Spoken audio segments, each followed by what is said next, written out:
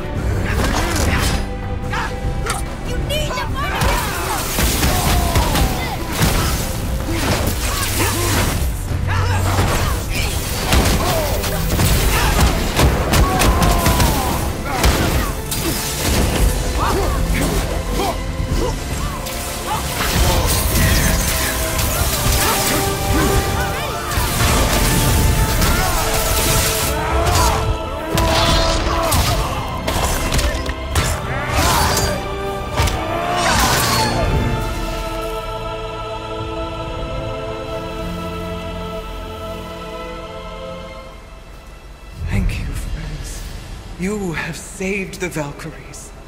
Sigrun, how did this happen? Mimir, is that you? You have been freed, but Freedom comes at a price, milady. you speak truly. Countless winters we serve the All-Father. But only through his union to the Queen did we ever taste some measure of freedom. But aren't you the queen? There has only been one queen of the Valkyries, the goddess Freya.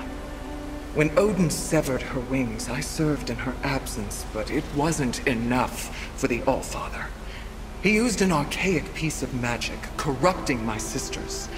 I tried to contain the damage by imprisoning them in places where they could cause no harm, but soon I lost myself as well. Sigrun, I'm sorry for being so worthless. I could have done something, or tried at the very least. What will you do now? I must reunite with my sisters. Together we can restore balance to the realms. You have the eternal blessings of the Valkyries.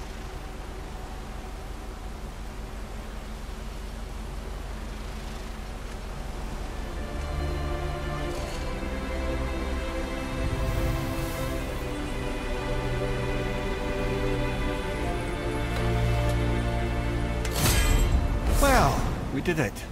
I suppose. You don't sound very happy about it. It's difficult to be happy about anything when you're a reanimated head. I'm grateful we were able to set the Valkyries free. But so much of this could have been avoided. Only... You said it yourself.